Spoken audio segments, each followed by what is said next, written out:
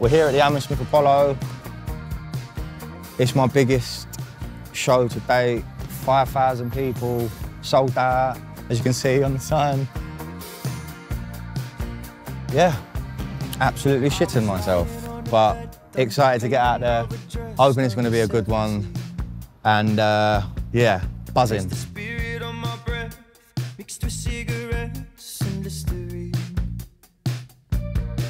Said her name was Lucy while she turned the pornography off the telly. Puts her hands on my chest and says, Babe, get undressed when you're ready.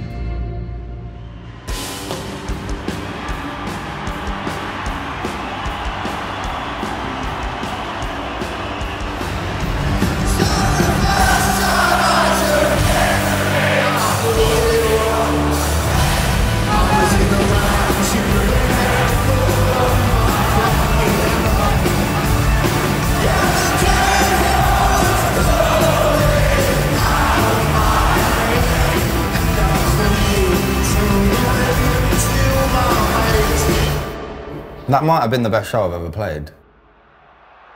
The crowd were just fucking incredible.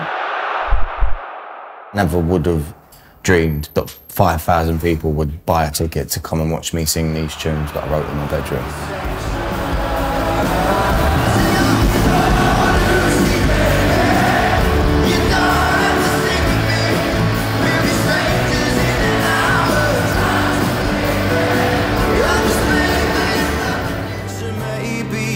Save me from myself tonight.